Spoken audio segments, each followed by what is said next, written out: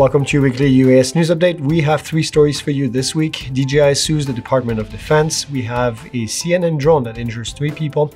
And lastly, BRINC releases The Guardian. Let's get to it. And first up, DJI is suing the Department of Defense for what it claims are multiple violation of the Administrative Procedures Act and then also the Fifth Amendment violation.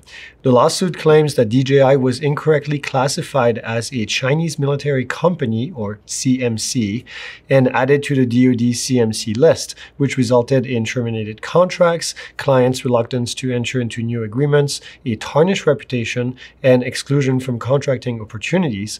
Uh, DJI is seeking seeking monetary compensation for the cost of the suit, the removal, also from the DoD CMC list, and then stopping all element of the DoD from taking action based on the CMC list designation.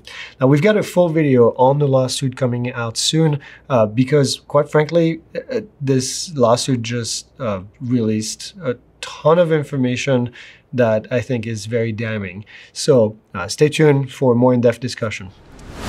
Next up, a CNN drone crashed into a crowd, causing multiple injuries. Uh, the specifics are unclear, especially what drone was being used, but uh, Drone XL reported that one person uh, suffered multiple laceration to their finger, one person was hit in the head, and then the third person had to be transported via stretcher from the scene. Uh, no word, like I said, on what the drone was being flown, but it reportedly uh, struck a light pole while attempting to navigate between trees. And then after striking the light pole, the drone then fell into the crowd. And we'll keep you updated as we hear more from this, but there definitely needs to be more information. I'm sure there will be an NTSB investigation as well as an NTSB report. And last up, BRINC has released The Guardian for public safety.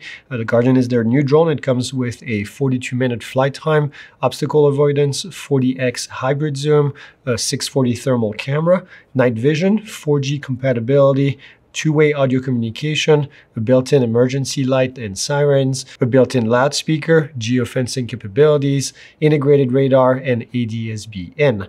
Uh, I think this might be the first non-DJI drone that I see with ADS-B-In capabilities, which I think is a great, great functionality.